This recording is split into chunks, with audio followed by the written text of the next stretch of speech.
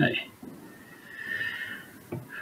Okay, let's get started. Uh, so welcome again to the meeting. Uh, I don't know if Stefan's going to show up. Uh, he might. Otherwise, uh, Z's out for this week because he had a he went somewhere for the Saturday this Saturday, so he won't be joining us. That's okay. Uh, so how's everyone doing? Good. Jesse, how are you doing?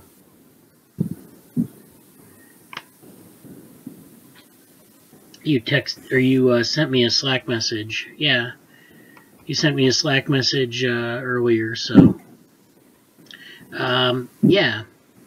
So, uh, Ankit. So Ankit was telling me before the meeting a little bit about his week's activities. So, do you want to go through that? Yeah, exactly. I will I'll share my screen and I'll show you something. So, entire screen.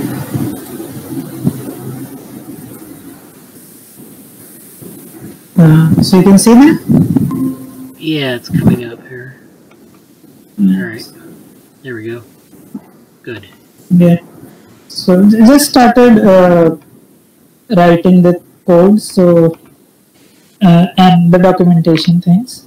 So uh, here I have uploaded the things which uh, like I have like made separate folders, which is the prototype, the thing that I made earlier uh, before. So I've made a separate folder for that, and the new, the new thing that is being done I have I've set inside this.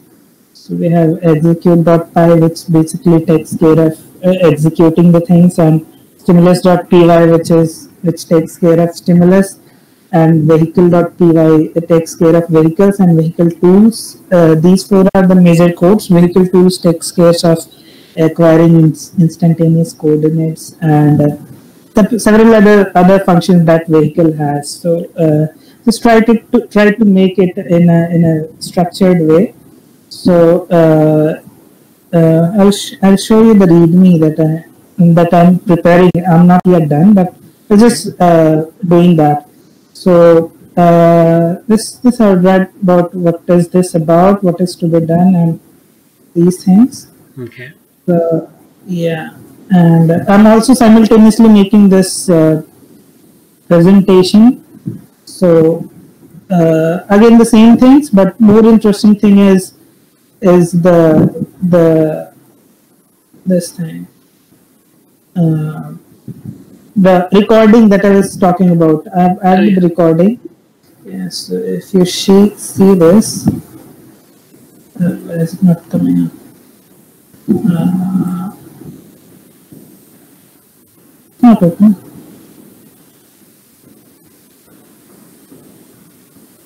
Uh, oh no, why it, is not open? Yeah, it's open. So this is for 2EV. Yeah, this is. Oh, wow. So, yeah. So you see, the vehicles are actually making a path. They, they are uh, they are approaching, and thereafter, since this is a coord- coordinate behavior, so they are just getting away from it. There's another stimulus there, so they are actually getting away from it. There's another stimulus there, so basically they are making a path. So the base uh, escape route uh, in in case this is in case of 2A. So if you, if you wait and see, it will be like a very nice simulation it turns out to be. So yeah, so you have multiple yeah. images in there now. Yeah, yeah. these are these images are like uh, the representation of stimulus, different stimulus types. So uh, uh, still, still, I'm um, I'm in the process of uh, keeping it to a single vehicle type. Not like every vehicle is here behaving like coordly, which is because I have I've assumed uh, till now that these these stimulus are actually coordinates provoking things. So actually, if we see these kind of things or patterns, we see in even uh, insects also. So maybe something like that is going on inside their brains or something like that. Yeah. Yeah. So they're kind of uh, coordinating around. So they're just kind of avoiding all the images.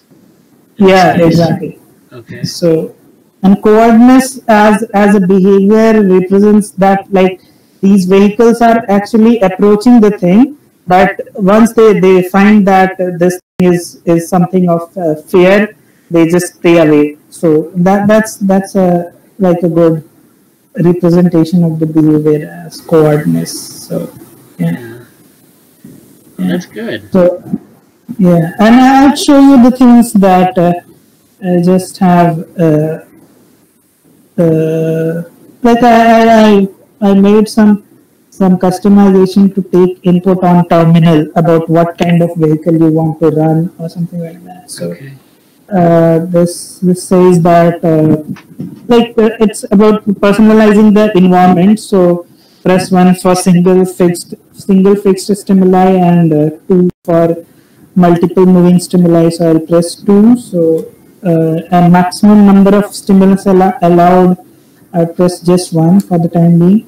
And uh, if I put the vehicle as 3A, then we would see vehicle 3A, which is this. So uh, every this 3A is the kind of loving behavior. These vehicles are following the thing. So uh, so actually uh, from from uh, one structure code, I can I can actually run multiple type of vehicles based on my input. So and later on, uh, once we have different type of stimuluses, so we can uh, like customize things as we wish. So for the time being, I would write, I would complete the documentation, and uh, we'll move on with that. Okay. Yeah. That's good. This is So yeah, the I have a question. Do the vehicles communicate with each other in any way, or are they just like No, no. Okay. Actually, uh, I think I should add something like because in practical life, the, the these can't like uh, get into one particular space. So I have to like uh, uh, add some algorithm to handle proximity issues. So these these are the things that I would do later. Okay. So what will happen in that case is the one vehicle tries to uh, take a space and uh, uh, avoids others. So these things will be like some herd of things following this, like uh, the way you want. So in this case, what's happening is is the every, every vehicle is trying to get as close as to this thing. So these are like getting compressed as the, as the time passes. So yeah.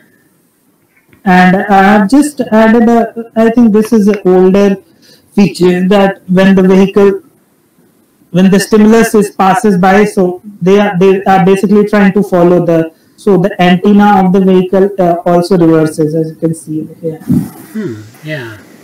Yeah. So You know, I asked. Oh, yeah. you know, I asked about the communication. Mm-hmm. So that's because uh, they, you know, so if you've seen like uh, swarms of insects, right? Mm-hmm. Yeah. So I mean, usually that like when they do like, uh, you know, some sort of emergent phenomena or swarm programming when they simulate it, there's usually communication between the agents. And like Mhm. people think that you need communication to get the pattern of swarming or collective behavior. Mhm. But in this case, it almost suggests you don't absolutely need it to get that kind of behavior. I mean, you know, it might change the, it might modify the behavior maybe more in terms of what you want to see. But I mean, it's just Yeah. interesting that there's no communication here and they're still doing that same sort of thing. Yeah, but So- actually, in, in practical or physical, if, if we try to make a physical robot, so they will try to bump into each other. So just to uh, avoid that thing, uh, so Yeah. uh, we need to do some proximity, uh, deal with some proximity issues. All right. Yeah. So I was just uh, about like writing down things about these things. So uh, still still about to do so. Uh, I would uh, maybe complete that in one or two days and then send to send you the the presentation and this and we'd up, update it on orthogonal research uh, GitHub page, in my page, Yeah. Yeah, looks and also good. the uh, this thing. Oh yeah, you got it open. Good. Yeah. So, uh, yeah, I've been. Yes, the behavior is more emergent. It's very cool to see. Thank you, Jesse. Mhm. Uh, yeah. So uh, I was uh, going through the um, paper as we were talking about. Are, are you? Do you have anything else to show, Ankit? Uh, I don't think so. So I'll stop. Okay. Yeah. All right. Well, that's good. Um, so let's. Why don't why don't we just go to the paper then? And Exactly. See. Let me present.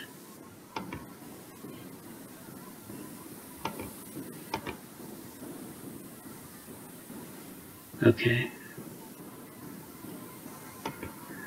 All right. So here's the paper hmm and we worked on it a little bit this week. So we still got the introduction, the motivation, uh, neurodevelopment, uh, some of these other topics, uh, neurodevelopment of brain networks. hmm I think we oh here's where we have some notes. Uh, this is again for uh, Ankit might have some stuff on emergence in his uh, outline. I mean, just Yeah, just do the the yeah, just fill out your outline. That'll be good, and then we can move things around in the document. That's what I did with Z's contributions. Uh, Yeah. yeah. And then Jesse can add in some contributions under models of regulation. Um, Mhm. We'll continue to talk about that. So I added a new section called methods. So this is Mhm. like again where, you know, some of the more uh, detail, you know, specific stuff to the model is going to go for each person's implementation. So uh, in Z's case, you know, he presents some information on a Hebbian algorithm and some information about code. So I'll just hmm it, move that stuff to here. And then the results, of course, we have this computational model of developmental neuroscience. Uh, you know, Jesse, you, know, can add to that, and I have some things I might add in. I'll actually present on some of the stuff that I've been doing this week or in the last couple weeks uh, next in the meeting. So, but anyways, we can add to this, and then the software instantiation section. Um, so this is Z's contribution. I put it in. Uh, Mhm. Again, it's this is the basic uh, basic information about the uh, approach. So this is an introduction. He talks about the olfactory system, the associative memory, and everything like that. And we'll just put that in there.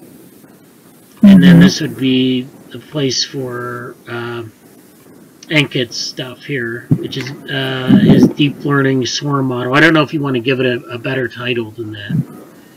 Yeah, Yeah. Uh, I would actually think about that. So I was actually thinking of this thing that what exactly, like the second section that I wrote, uh, that what is to be done uh, from this project of my simulation, what is the ultimate goal.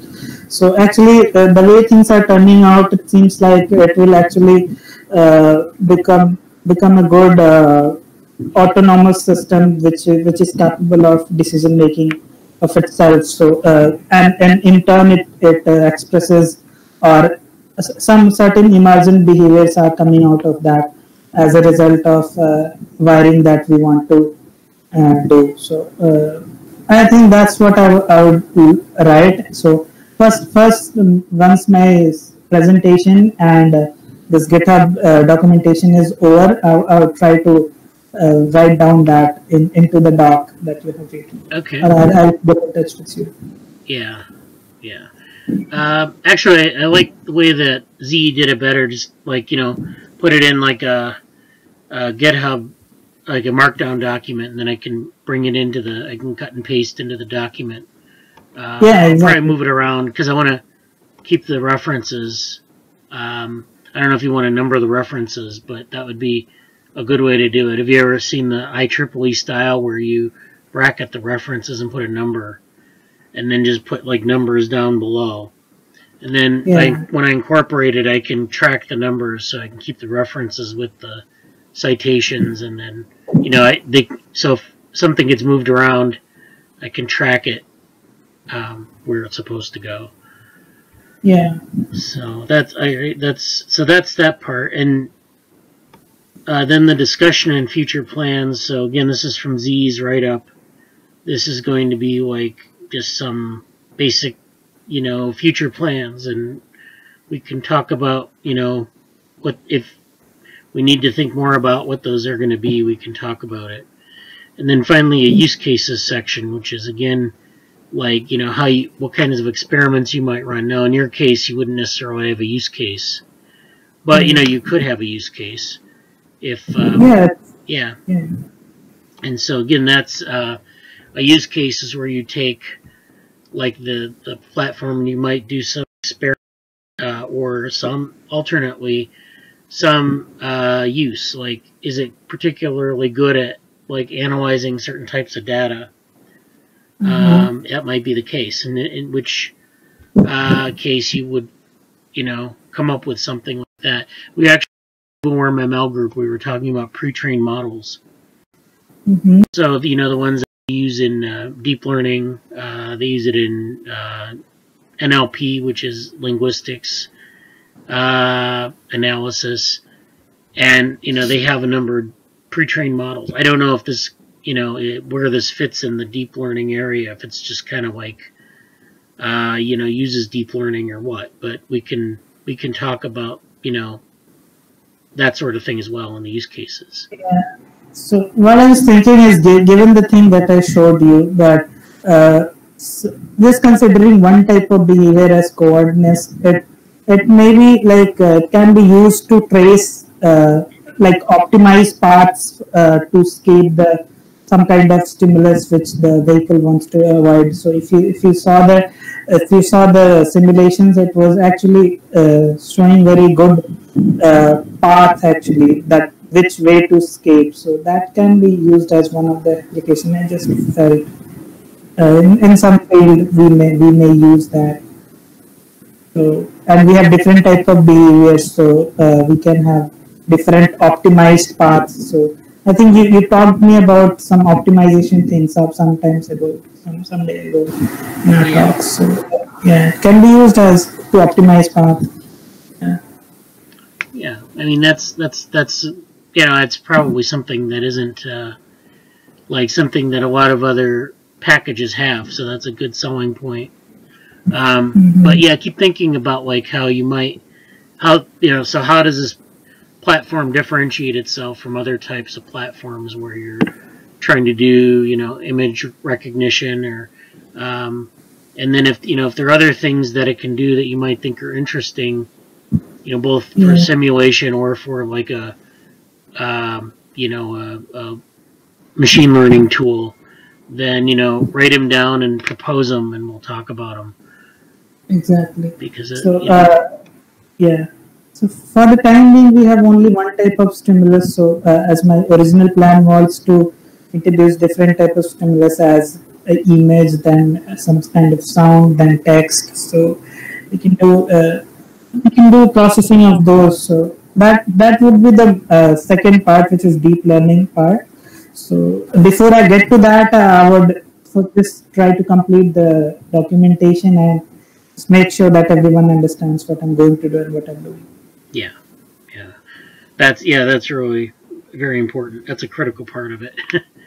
So Yeah. yeah we have like so we have like uh, again you know we have like a methods section uh, where we have uh, let's see. Let me share my screen again. Or i'm actually presenting so uh, we have you know so we lay it out like very simply you know give a description and then we can insert equations as well. So you know if there are equations you think that are useful you know you can put them in um, and then you know we kind of relate it to the software. So uh, and then we'll separate that out from this sort of descriptive uh, section where you're kind of laying out what the model is but it's a little bit more general. And Yeah. then um, yeah and then this part here at the end where we have these cases which we just talked about Yeah. Um, so then the references too. So we have the references. I've added some references in here. Um, and then this might be of interest to Jesse. Um, you might want to go through some of these references if you uh, want to, you know, see where, like I guess in this part here, you know, get a gist of what we're doing in the paper. Um, or you know we can come up with references for your section, but we're going to put them, you know, we're going to insert them sort of later on in the in the bibliography. So we already have like 21 references. Yeah. I didn't. I don't So have. I, would add references. In, in my case, the references would be uh, mainly the library that I'm using and certain other things. In my case, actually, I have uh, assumed my own activation function, which is like in, in, in inhibitory uh, sensory activation. The the activation is function activation function is like k into k1 plus k2 into r square. So that kind of things they are. Uh, I don't think so. I, I actually shared a paper in which they proposed a model for for vehicle two and three, but I felt that was too complicated because they they uh, they introduced something uh, some rotational mechanics thing. So I have, I'm only uh, I'm only concerned about the kinematics of the vehicle. So uh, I, I would write that up so that would make that would make more sense later on. Okay. It is. Yeah. Yeah, that'd be good.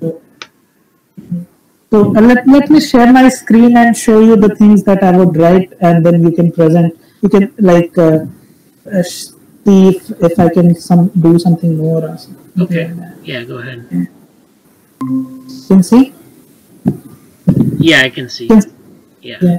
So uh, the contents are like I've, written on something. So so basically, what the what this repo is about. So the second point is important is what is to be done. What is the ultimate goal of the the, the simulations that we are making, and then a little information about uh, Braitenberg vehicle. What is it? What it is and what basically it is. So uh, and so, and later on the environment that I have built up. So show you the picture. I've, I've inserted a picture of the environment uh, here, and uh, I, don't know if we can. Uh, I was actually searching for the thing if we can uh, add videos to this uh, this README file. I was struggling to uh, find any anything relevant. So, do you know anything? Uh, any any way in which we can embed the video here? Oh, I don't know in a markdown file if you can do that. I know you can put a link in or you can link an image. Yeah, But, uh, exactly. You might just, yeah, you might just, yeah, maybe link to YouTube. Yeah, there might be a way to do it. Um, Exactly. So that would be a better representation because in the in the presentation I can see the video, but here in the markdown thing I can't see it. So that's uh, uh, that's a thing. I think I, I was actually reading something uh, on Stack Overflow. They said that you can put in a YouTube link, so that will appear something like it is it is shown here. yeah. So yeah, so I can work on that. So um, in the code, actually, I have used these stimulus, uh, these uh, coordinates of these vehicles. So I will try to write down what exactly, uh, which point represents the point in the code. So Oh, these yeah, things have to be done. Yeah. That would uh, actually trying to relate whatever I'm doing in the code to uh, to the uh, documentation. So the wiring rule and activation function in the code, if you see in vehicle tools, there is uh, there is activation function. Activation function is different for different type of vehicles. So in this case, these are like uh, 1B, 3A, and 3B. The, the vehicle is the activation function is actually inhibited. So this is this type of activation function, and uh, in the other case, it's it's the other way around. So and in vehicle 4A and 5B, there are different type of activation function which are like something like bell curve. So that that would again add up here.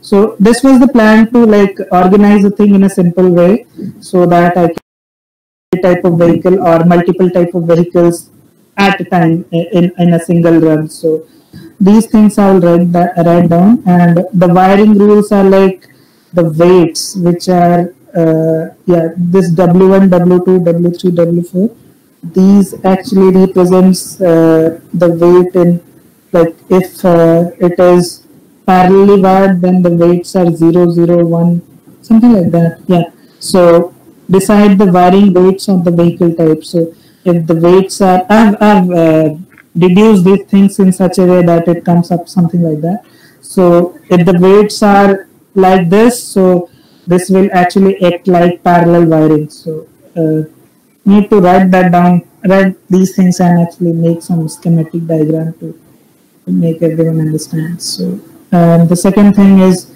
and thereafter we have vehicle kinematics. So actually why these vehicles are moving is because there is a, a change in rotation speed of these two wheels. So uh, if the rotation speed of this wheel is actually more, so the wheel, the vehicle will turn like this, will go like this because it, and it will follow a circular path because this wheel is actually rotating fast, so it has to cover more uh, more uh, distance. So these are the things that are actually underlying underlying uh, logics that are happening in the vehicle. Yeah. So I try to write that down and finally the what what are the things that I've currently done and uh, setting up processing.py on uh, on terminal and on uh, writing that down in some uh, text editor so I add, add some information here and future development inference and these things are generate I will add later on. So. Good. Yeah. So the, for the activation functions, you know, you can just put, I, I guess we could do them as equations, but you can just write out like a quick, uh, you know, the way you have it in the code, just put it in the document, and then I can turn it into an equation. Yeah. So, uh, yeah. yeah, yeah, I would certainly write those things uh, once, once I'm like once the documentation is finished here on GitHub, and uh, I'm doing uh, these things simultaneously, so hopefully these things will be done soon. Yeah, yeah, good. Well, yeah, uh, send it to me when you're ready for me to look at it. Uh, looks like you're doing yeah, pretty good. Yeah, thanks. Yeah. Mm-hmm. Right. So mm, that's all for me. Yeah. Oh, Jesse said another way to do like an animation in Markdown is to make a GIF, an animated GIF. Oh, GIF files. Yeah, or yeah. You associate a Jupyter notebook so you mm-hmm. can yeah do those things. Um, yeah. So. Okay, nice. So basically, I just need to convert those video files into GIF and then upload it there. Yeah. Yeah, I think you can actually convert like a, a movie doc to an animated GIF. Like they have converters online where you can like yeah, upload exactly. a video. Yeah. So. Nice. Uh, Jesse also. All right. Oh, about the new part that I added to the document. Jesse asked about that a while back. So, uh, the new parts I added, uh, yeah, I added the use cases, which are just, right now, it's just what Z had in his uh, document. But I'll work on the, you know, developing that more as we go along. And Jesse, if you want to help me with that, you can. Um, and then their references, yeah. If you add your own, make sure that you either, you know, make them sort of separate in a separate document or just make a notation that's like added references. Basically, we want to make sure that the references are always linked to something in the text. Because, mm -hmm. you know, if you just put the references down and note, and put the text separate and then say, I'm going to get back to this and add in my uh, references, then it's sometimes it, it, you don't know where it goes when it comes time to put them in. So yeah. Um, and then I also add I also made the methods section, which is uh, again it's just kind of the more sort of uh, detailed parts of the write up. And don't mm-hmm. you know when when Ankit when you're writing up this stuff, don't worry so much about how that's going to work. I'll just look at it and we'll we'll separate them out and then we'll go over it after and make sure that we have the right things in the right place. And it'll be things like equations and, and things like that. But and then so those are the only references I added, Jesse. Okay, I do see the changes. Yeah, okay, that's good. I mean, you can just you know, uh, like create a markdown file and and write, you know, do some writing and and then we can, you know, it's easy to copy and paste into the document uh, in, in wherever we want to put it. So that's good. Right. Well, thank you, Jesse, and thank you, Ankit, for showing your demo there. It was very good. Yeah. So, uh, do you think, uh, uh, like the thing that I showed, I can I can add some more section or make the doc look more uh, representative of, of what I'm doing? Um, like in what way? I think these things are more than enough to uh, show that what exactly I'm doing. Yeah. Yeah, I think that that should be it. I mean, if you fill, flush out those sections, um, you know, we might we might add more later as it get. Well, we'll look at it, you know, as you go along. Uh, you know, once you're finished, we might look it over in the meeting and and you know say where you might need more detail, or when we get it into the paper, because you know once you have everything together, it's easier to see where we need detail and where we don't. Because Mhm. uh, you know other people are writing things and we might you know i mean there you always want to put in more detail about it like you want to the goal is to make it reproducible but i don't know if that's how you know how to communicate that that's the key like if people can understand what you're doing and maybe you know use the software um that's that's what you want Yeah, exactly. So, uh, yeah, and um, I have some certain issues that I had. okay Like I have, I still have certain issues which are not resolved. Like the the vehicles are like turning like anything, or or I was thinking if uh, I would show you this time. I was thinking if I could, uh, like the way these these vehicles are like either uh, they're like horizontal either this uh, either uh, uh, this way or this way I was, I was thinking of like the way its its uh, velocity is if, if it could orient if, if it could orient itself into this in this form like it is going into this direction so it could go like this so for that I, I need to multiply with some kind of rotational matrix so these things uh, I would like to work upon so okay yeah. Yes. yes. yeah Fine. Okay. Good. Thanks.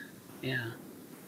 And so we'll revisit this, uh, you know, when we're ready to, you know, uh, when everything's ri- when the write-up's finished, and I like the yeah, I like the way it's coming along the demo and that. So, and we Mhm. can actually maybe you know, well, like I told you about the video and GIF.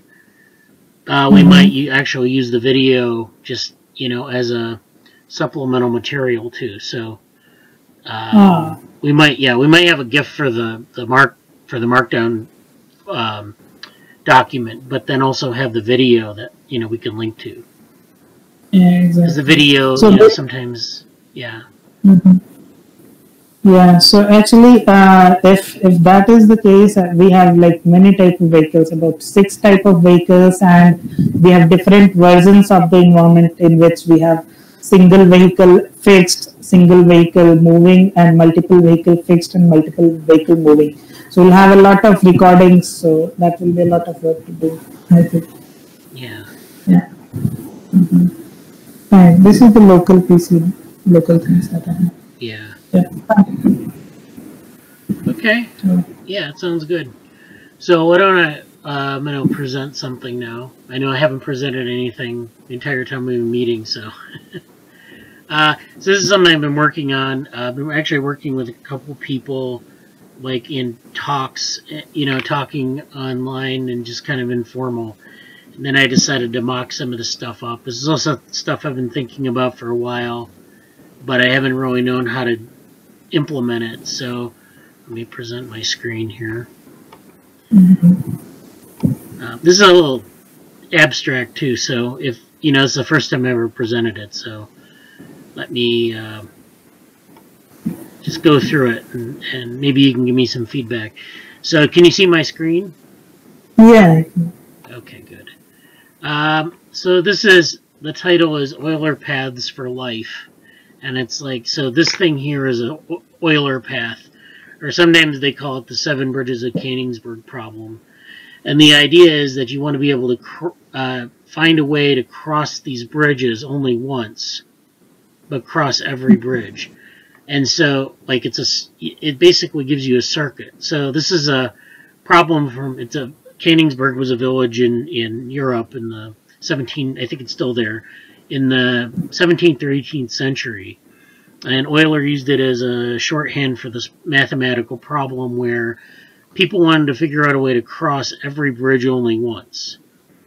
And since mm-hmm. there's seven bridges configured in this way, there's really no solution, easy solution to this problem. And so this it seems like kind of a trivial problem, but actually it's a very important problem in computer science. Uh, and we'll see why in a little bit. Uh, and then these are pictures of different forms of life that have sort of a geometric uh, property to them. So seashells and diatoms. And so uh, diatoms are the ones on the right. These are actually a form of algae that uh, grow cal calciferous shells. The same thing with seashells. And these things grow in sort of uh, patterned. They're they're good examples of pattern development because when they grow, they form these little shapes and uh, you know banding patterns. And so that's uh, like that's been a major problem in the area of morphogenesis. So people have tried to understand that, and there have been different models, but uh, hopefully that all fits together as I go through this. Mm. So uh, one one question this, that we're going to talk about first is, and this is a little bit far away from the seashells and and uh, bridges, but how do connectomes connect during development? So one question, one way this sort of method can be uh, useful is to look at connectomes during development. So these are connectomes. I know we've been talking about like, you know, connectomes and vehicles, but these are real life connectomes. And we have, in this case, it's this is the human brain. Yeah. And uh, this is the human brain. It's featured in this paper here, uh, The Decade of the Connectome. And, uh, you know, this is where they've actually built a network model of the human brain. How are all these, like, nodes, they call them, which are different areas of the brain connected together? Uh, in, in a similar way, the Drosophila visual system, uh, people have drawn out maps of that. So Drosophila is a fruit fly, and they have, of course, an eye. They also have, like, a brain, you know, like we do and these are all the components of this visual system. So from the retina to parts of the brain to higher centers of processing, and they have these different parts that are related to functions, emotion behavior, and color related behavior. And they have these numbers labeled, or these labels of these nodes, and those are the areas of that are involved. And so they're all connected in some way. And so then the question is, is how do connectomes connect? Well, some things we know about them. Uh, cells are born and they find other neurons to connect to.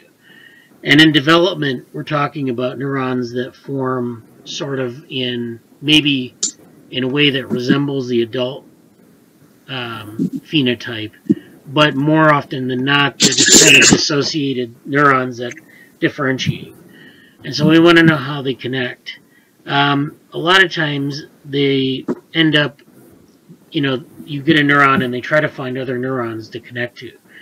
So space is an important part of this because they emerge in different parts of the embryo and they try to find neighbors or functional neighbors. And so is this process random or is it guided by some heuristic? Um, we also actually also expect that this connectivity will be sparse across the network but dense locally. So like cells that are near each other in space will connect, you know, uh, more commonly than cells that are farther apart. So, but we need a set of principles that governs information trans transmission. So, sort of the efficiency of wiring, or ways that we can characterize that efficiency. And more often than not, that relies on graph theory and showing how these things are connected and showing like the path length and things like that. So um, one program you can use to evaluate this, and this actually is a way to simulate the traveling salesman problem or this this seven bridges problem that I mentioned in the first slide, uh, is this Concorde TSP solver. So it's a program that allows you to simulate networks with nodes with the little dots and then build a route between them. but the route building is handled through some algorithm. So it's either some sort of, uh, you know, random uh, uh, algorithm, or it's like a heuristic algorithm that does some has some rule to it. So we can do this in different ways, and uh, so the traveling salesman problem or the bridges of Königsberg problem is related to this Eulerian graph problem, which is where you tour the edges and try to find the shortest path or try to find paths through the network that, you know, visit, you know, visit every path at least once. And so this is an example of uh, how the TSP solver can be used to create art. So they've created a wave using this, and it's just like you put a bunch of nodes down and you can simulate different shapes and, you know, find ways to connect these nodes. So that's a very long way of showing some of the experiments. So in this case, you could imagine a circular nervous system with two concentric layers. And I show this on the left-hand side. This is 24 nodes and no edges at all. Now, these network, these neurons are going to connect to one another, so each of these nodes are a neuron. And they connect in a way that you can see here. Uh, this first example is uh, where I define the number of edges. Actually, in both cases, I define the number of edges. And I wanted to see, I had like sort of a sparse condition and a dense condition. And I wanted to see how they connect. And so uh, I use the random method for connecting. So in TSP solver, I select the random method. And then I ran the algorithm. And so in the first case, I made 65 edges which is like what I considered sparsely connected, with a distance of 1,959 units. The units aren't that important, but it's suffice it to say that we can calculate the distance between these nodes and kind of get a sense of how much wiring there is in the network to create all these edges. Mm -hmm. uh, the next example was a much denser version, which was 275 edges. Again, not like where every neuron is connected to every other neuron, but just to see what the connectivity looks like. And here it's much denser, but much, much, a much, much longer path to visit all the neurons in the network. Um, so, I mean, that's something that, that's one experiment on, uh, like a circular nervous system. This is actually a different example. This is something you might find in an organism, like, you know, something with a head and a tail a bilateral nervous system. And so I just kind of plotted these out uh, in a way that looks like it could be a head and a tail, right? Mm-hmm. So you have 39 nodes in this nervous system, again with no edges. We wanted to find the nodes. And then we did this same thing. Uh, this time we're as testing different algorithms out. So in this case we have 65 edges and a distance of 1,959 units. Uh, but in this case, we just wanted to see like if you connect this network sparsely using a nearest neighbor heuristic. So in this case, it's that the uh, nodes maybe next door to the node is more likely to be connected than something all the way on the other side of the network, like the head connecting to the tail. And so using that rule, we ended up with these little modules of connectivity and so you know it's it's somewhat connected locally, but it's it's disjoint uh, globally. Yeah. Yeah, and and then so we contrasted that with something that generated many more edges. This is a heuristic random algorithm that made a lot of connections between the head and the tail. So the point of these experiments was to show that, you know, maybe we can learn something about a how neurons connect. Is it random? Is there some sort of like algorithmic principle at work or what? And this maybe suggests that maybe there is an algorithmic principle. Um, and you know we, we can we can do this these experiments in more detail to show you know maybe how we have modules form or maybe how we get long distance connections to form and so forth.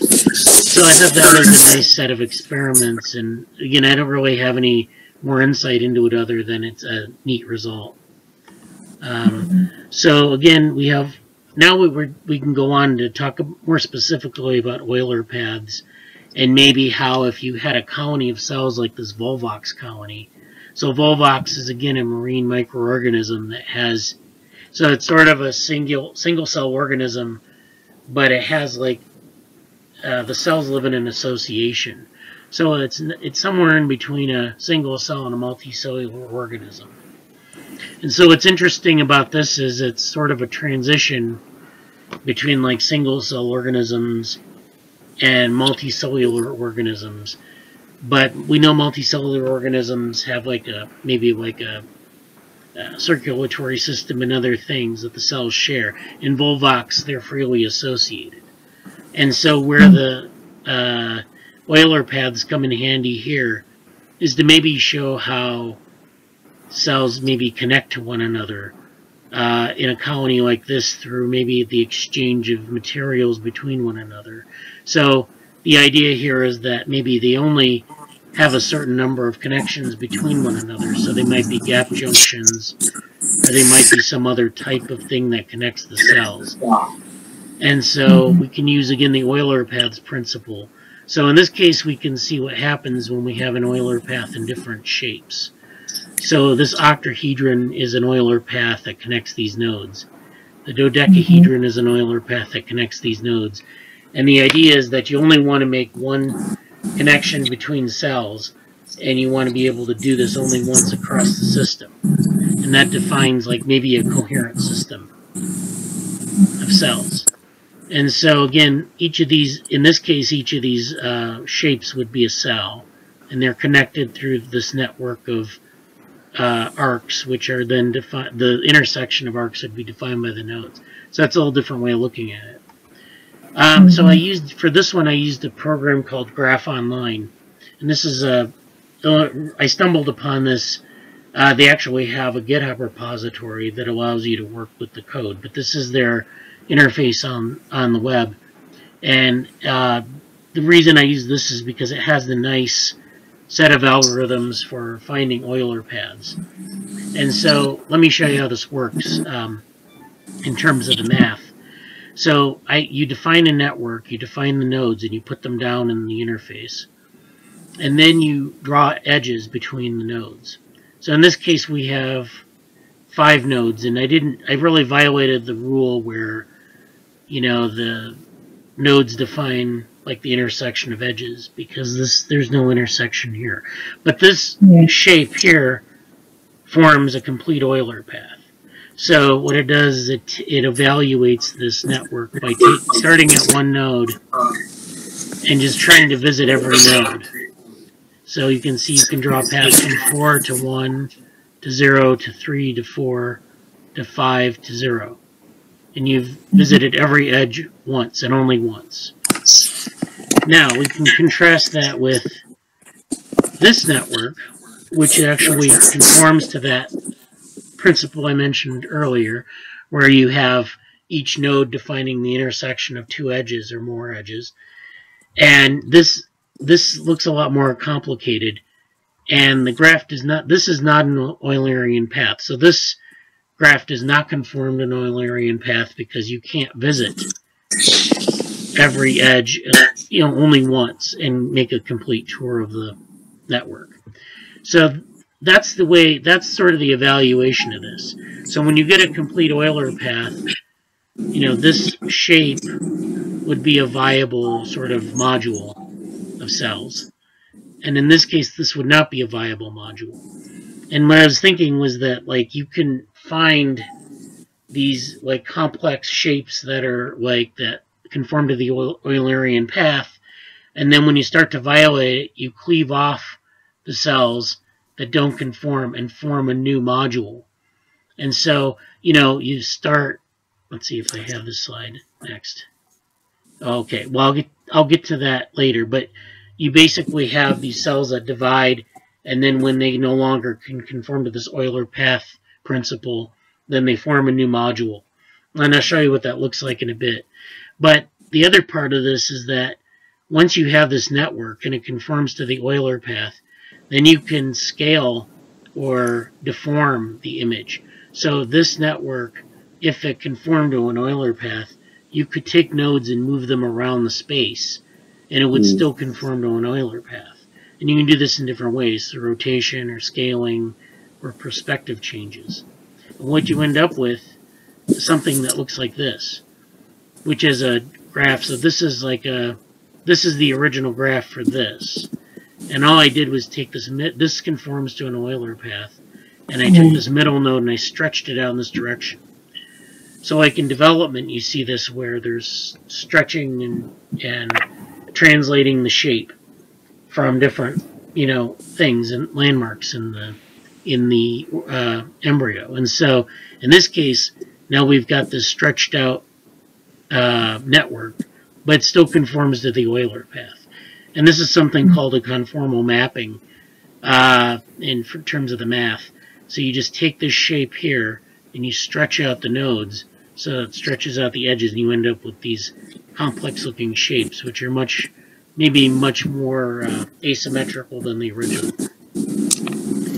So this is the final part of this. Uh, this actually shows like taking those shapes and you know starting to look at like replication of cells and what that looks like.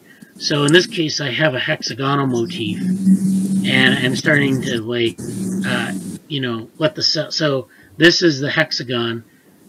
The hexagon divides. That's one step.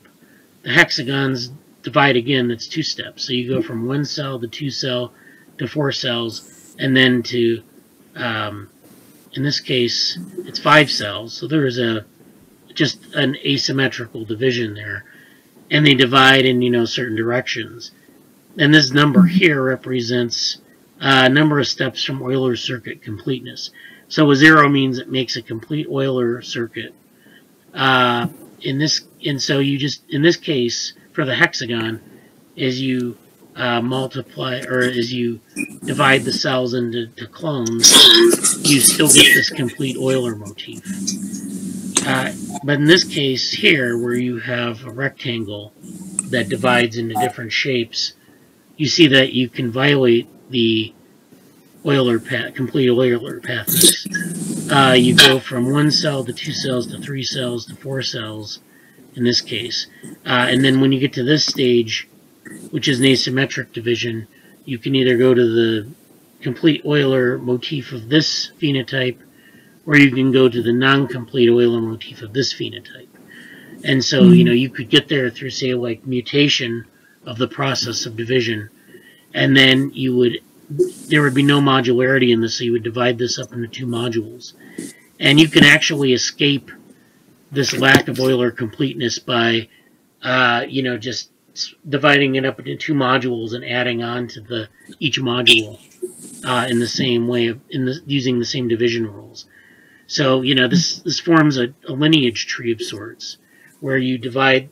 You know you look at how cells divide over time and you see what the state of the entire network is. Um, this is again using triangles. So this is a multi-cell lineage tree again where you start dividing or replicating the cell, making clones, and you can think of it as cell division or you can think of it as cloning.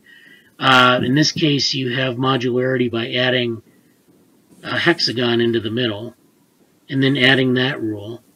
Uh, you can also violate the uh, Euler completeness of this network and then get out of it in two ways, either by changing, you know, adding on a, a cell to the top of the network, or you can make a couple of rounds of uh, division and cloning and adding in shapes in different ways to get back to Euler completeness.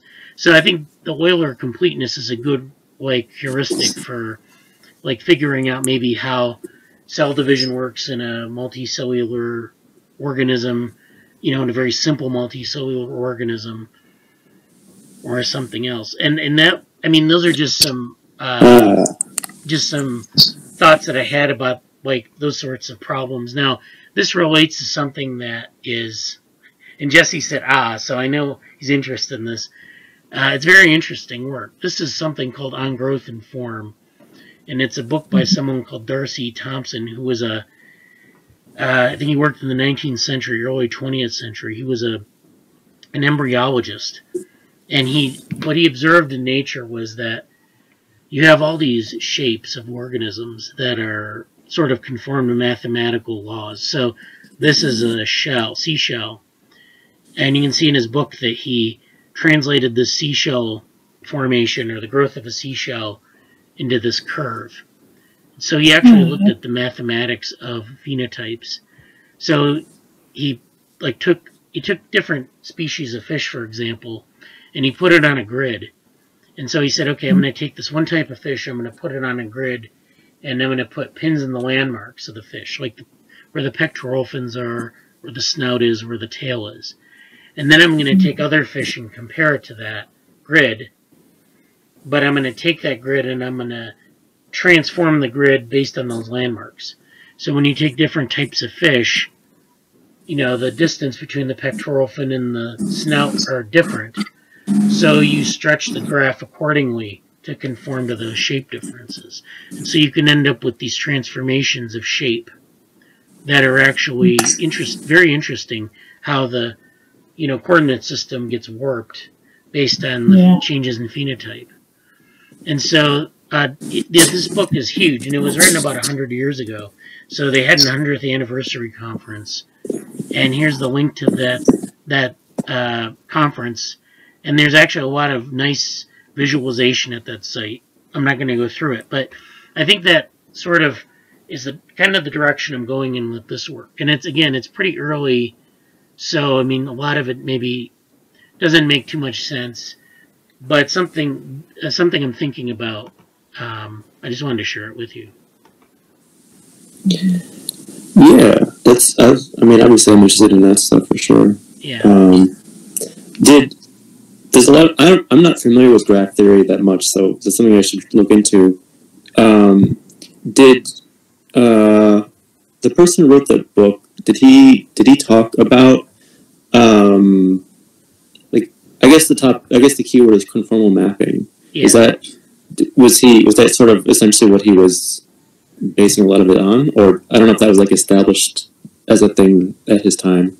Um, so I mean, you know, he did all this without computers. Right. Was, yeah. so like mathematics took a huge leap when computers when we really got into computers. Like I mean like not like Babbage's computer, but I mean like um, you know, like a supercomputer like home computers where you can actually, you know, once they invented calculators, we could make leaps in what we could calculate because we could do it, you know, digitally and we could do it in a automated way. So there are a lot of problems that made advances after computers became common.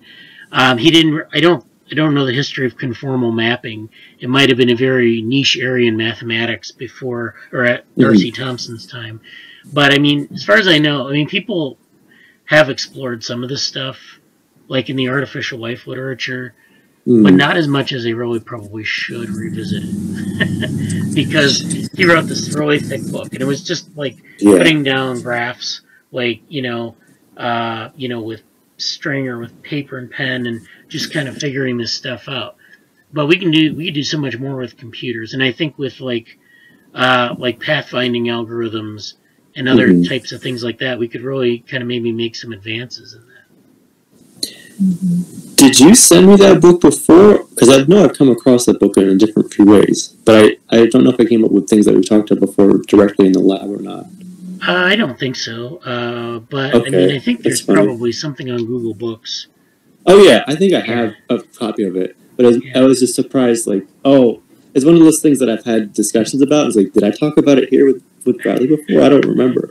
So I don't know if I was like, oh no, I should remember something about that or not. But yeah, uh, no, it's good. Um, I really like the presentation. Um, is it? Will it be like available to look at later, or? Oh, oh yeah, I can post it in the in the Slack channel. So. That would be great. Yeah. Okay. Yeah. Yeah. So I mean, this is just yeah. If if you're interested in something, we can talk about it more, because I just kind of wanted to put some stuff together for this to see, you know, how it fit yes. together in my own mind too. Um, yeah so we can talk about it. I'll give the slides out. Uh, Ankit, did you have any comments? Uh, actually, I, I, like the idea, and we have.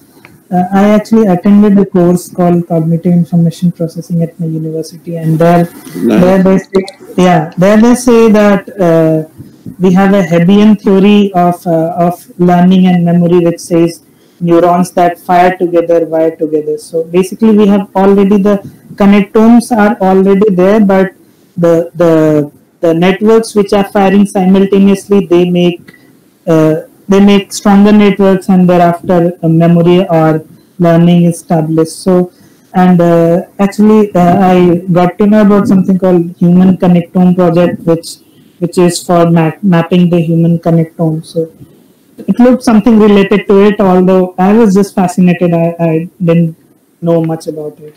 Yeah. Yeah. It would, Oh, you said the Human Connectome Project. Is that like a larger? Is it like part of the Human Brain Project kind of thing, or?